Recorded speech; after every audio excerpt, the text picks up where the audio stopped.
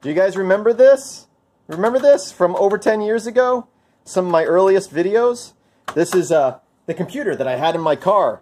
Uh, so this was a computer that I bought online, specially designed the pieces for being used in a car. Uh, we have a little you know, hard drive here, you know, not a solid state. This is before you really, I mean, solid states existed, but weren't commonly used. You know, I'm going back again over 10 years.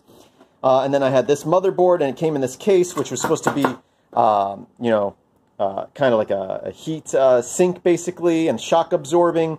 And it has this special power supply right here that detected when the car was powered on and off. And when it was powered on and off, it would trigger this to shut down the computer properly so the computer wouldn't be running all the time. And that was all hooked up to a touch screen like this that slid out and went up. I don't know if this is, I don't think it's the one, this one was mine. I, I installed one of these in a friend's car as well, and then later on when he stopped using it, I think he gave me the screen back. Um, very expensive little thing. But that kind of just reminded me of part of this project, because nowadays if you were to do something like this, I mean, really, you would just probably just put a, a tablet in your dash. But if you want to do something like uh, uh, an Arduino, an Arduino, yes, no, yes, an Ar a Raspberry Pi. That's what I meant. A Raspberry Pi. If you want to do a Raspberry Pi, you got to power and there's a lot of different ways to power it. And I actually just got this. Hey, what is this? This is this is the wiring stuff that I got for my dash cam that I was talking about in the last video. Dash cam came with a wire because USB powered to plug into the 12 volt uh, plug in my car, but the 12 volt plug in my car doesn't turn on and off when the car turns on and off uh, and I don't want to drain my batteries. So I ordered this online. This cost me about 11, 12 bucks on Amazon. Um, there were a few that were cheaper. If you want on eBay, you can also find stuff similar for about $4. But this one comes with a bunch of different adapters and all the fuses we need. So what is this? Let's let's open this up. Let's see. Let's bring this over here. I haven't opened this yet, so you guys are seeing this with me for the first time. Again, I just ordered this yesterday. So, basically, we have all this. This could, could be clamped directly to something. You got your little power converter here, and it leads to a micro USB. Although I think, yeah, there's an adapter here if you needed, um, sorry, mini USB, and has an adapter for micro USB. So great, if you wanted to power something like Raspberry Pi, you could do that too. And the way you hook this up, so you hook this up, you connect it to one of these adapters, the, the positive side. The ground would just go to, you know, a metal uh, screw in your car, and then this would go to one of these. So what are these? And this was this is what comes. I guess it's got all these different ones. These are fuse jumpers. So we have all these fuses in here that come with it for the car, and then this is a little pry bar and little sticky things to run the wire with. But what happens here is in your car you have fuses. So what you do is you pick one of the fuses, you pull it out, you plug this in, you put that fuse in there and the matching fuse in here. So you have two fuses in here. So it's just a little fuse jumper. So you can use whatever fuse. So you can pick a fuse in the car that's either on all the time or turns off when you turn the car off. So you can figure that out by testing, you know, the different fuses or just reading the fuse label and figuring out what turns on and what turns off. But something about this one that I really liked is this uh, little power brick here, this little power supply, supposedly will detect it will keep the device on even when the car is shut off. So if I did choose to put it into a fuse that shuts off, when I shut off the car, it would shut everything off. But if I put it in a fuse that is on even when the car is shut off, this will stay on and will keep my camera on. Or again, if you were hooking it up to like a Raspberry Pi or something, it would keep it on, but it would keep it would monitor the power. And if the power uh, in your car drops below a certain amount, it will shut off the device. Meaning you can leave that device on all the time, it, but if you're out of your car for a long time, eventually it will shut it off leaving you with enough power to make sure your car will start the next morning. And of course, then your alternator will recharge your battery while you're driving, in theory. So that's why I went with this one because it came with all these. Again, I could have gotten like just this um, with one of these adapters for like four bucks on eBay, and then had to have waited a month for it. But on Amazon for 11 bucks, I got this with this and the fuses and the adapter all for 11 bucks and I got it next day shipping which was nice. It's one of those, you know, eBay is great, uh, and so is Amazon, just depending on how quick you want something. And I kind of wanted this today. So, yeah, I'm going to hook this up and talk about it more. Uh, but that's that's the basic concept. So again, just to, to review how it works, this goes to ground. This will hook to one of these fuse jumpers. And again, I'm just going to go to my fuse box, which is right under my steering wheel, pop out one of the fuses, pop it into here, put the matching fuse in here, and then plug this in where that fuse was, and it's now using that fuse box both devices, the original and this new device, have a fuse, which is important. Um, and uh, and again, it will. I can hook it up to something that's on all the time, and this will shut down if the car power gets too low. Or I can hook it to a fuse that turns on and off when the car turns on and off. I'm probably going to go with the route of something that's on all the time and let this thing shut down. Hopefully it works right and I don't wake up with a dead battery. So, yeah, I'm excited about this. So here we are at my car. This is a 2016 Mazda 3. Most cars have a fuse box near the engine and then one side. Now, I am not a mechanic or an electrician, so take what I say, you know, with a grain of salt. Um, if you don't know where your fuse box is, usually it's it's down here or by your um, glove box. Just Google or YouTube search your model car fuse box, and there'll usually be videos on where it is, or look in your owner's manual if you want to go that route. Mine is right here, and uh, it actually has a little pull tab right here. It took me a minute to find. It says pull for fuse box. I pull that, and it pops right out. Let's have a look at this. Here are some of my fuses, and you can see they're color-coded and have numbers on them. Now, uh, fuse boxes, usually I don't see one in here. Uh, well, first of all, if you look at the plastic backing, might be a little hard to see in the video, but you can see those markings. It's telling you what each fuse is for. Some of them say Windows, some of them say outlet. So you can figure out what they are by looking at this, or of course you can find schematics online.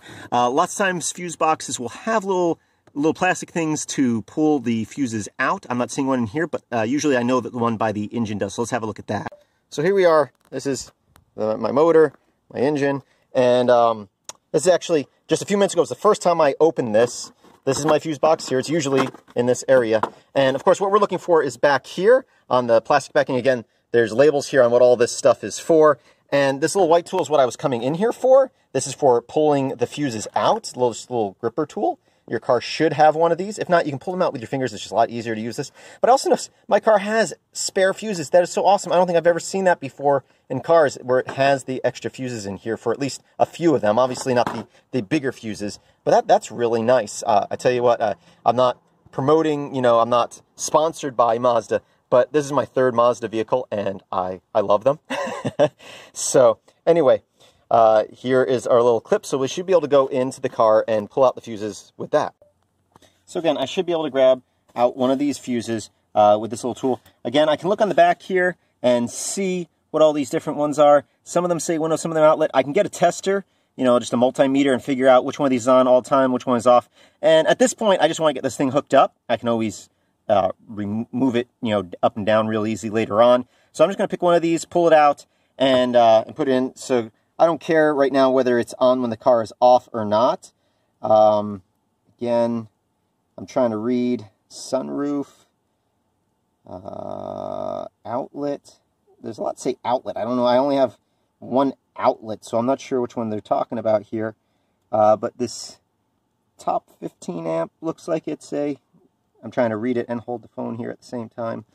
I'm going to go for this one right here see if this fits in here. Oh, I'm holding it there backwards. Ugh. So I'm gonna I'm gonna put down the phone and pull that out.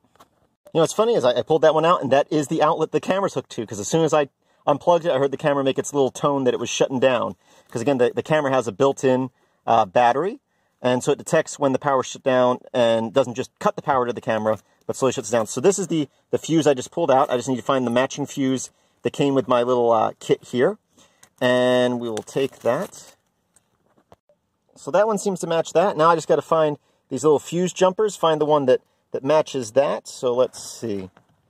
Uh, I'm going to go with, I think this one here. Looks like a match. So these fuses should fit into here. Let's go ahead and grab those. Uh, shove one in here.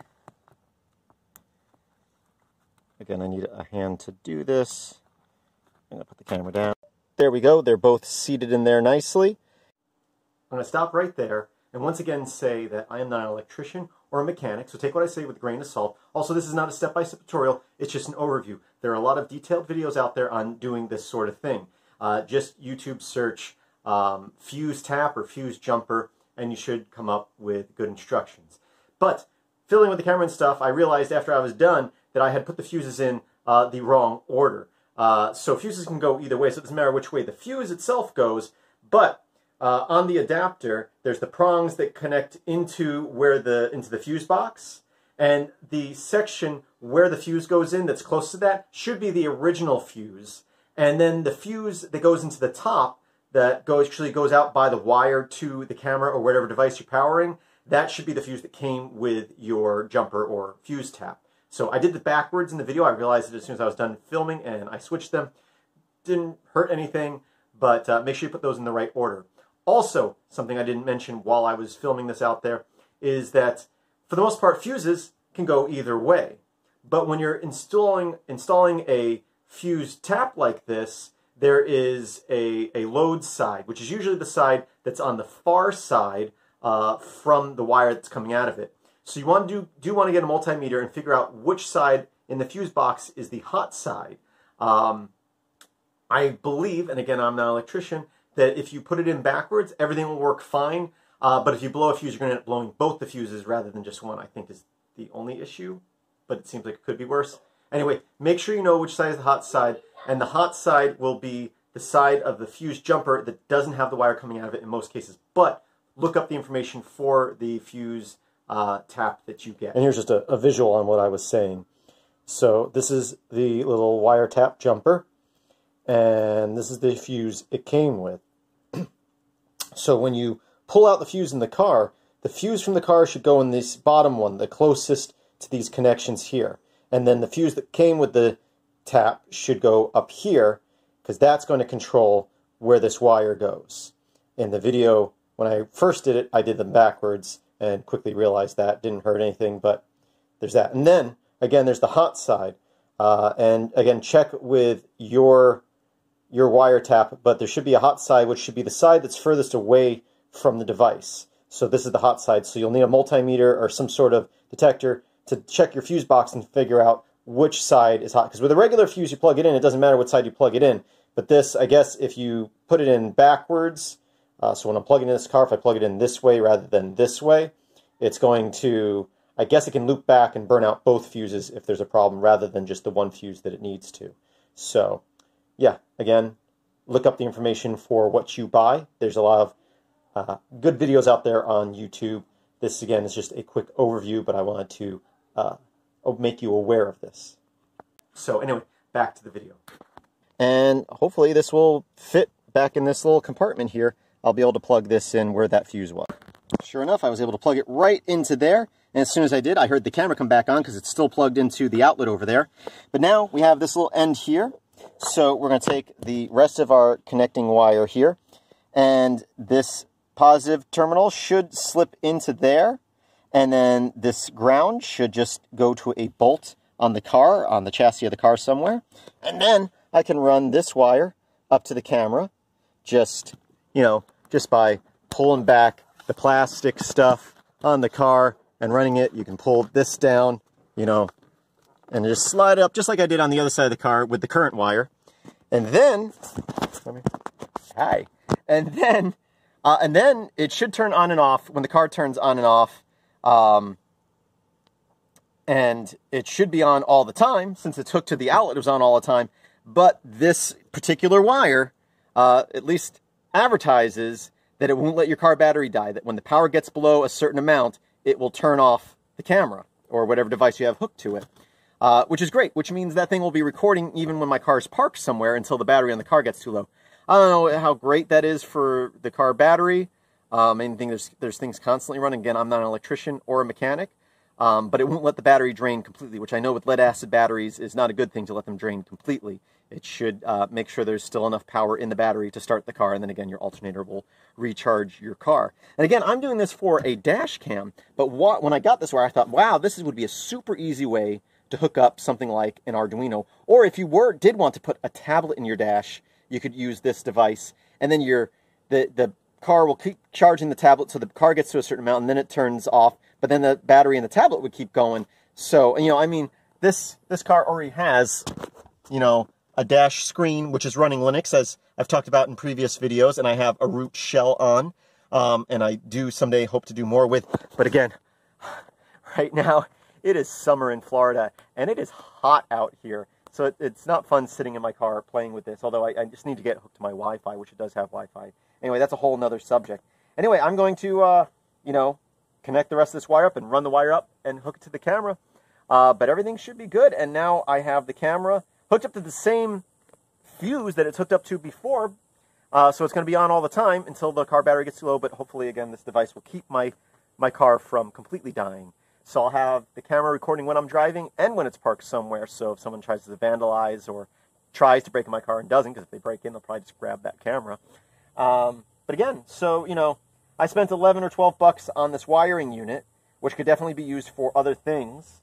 And I have all these extra little fuse adapters too, which might come in handy. I'll hold on to those. Um, but uh, I didn't realize it was going to be this easy. When I first thought I was going to hook something up, in the past when I've hooked up stuff like this, I've wired into the cigarette outlet and I just wired directly into it, which probably isn't the best thing. You probably should probably go in through a fuse like this. Um, so uh, yeah, this seems like it's going to work out and it's super simple. You know, um, I didn't. I, all I had to do is pop open that fuse box. I'm going to have to, you know, loosen a screw to to put the ground on, and then running wire in cars like this. If you've never done it, it's super simple. Uh, this wiring kit came with this little blue thing. The camera actually came with a bigger, nicer one. Uh, you can just do it with your hands sometimes or screwdriver, but you might scratch it using the plastic pry tools. You just you don't you don't need to pull anything. So like an example, like right here, you know, you you pull it, you run the wire in here. See how my fingers go in there? You just run the wire there, and then you're up over your window. All this pulls down just enough. See, I'm sticking my finger in there. You just run the wire along there. There's nothing to take apart really. So, yeah, I'm excited about this. I did not know that devices exactly like this. Like I said, I knew they made, uh, you know, USB connectors that you could connect to your battery and stuff. I didn't realize they had these little fuse jumpers. These things are awesome. So anyway, I hope you found this useful. And again, I'm just hooking up the dash cam, but now I might hook up other things in your I mean, I already have. Okay, I, I should pull out that computer and see if there's another input. Maybe I can hook an Arduino to it and have two Linux systems running in my car. Anyway, I thank you for watching. Please visit filmsbykris.com. That's Chris the K. And as always, I hope that you have a great day.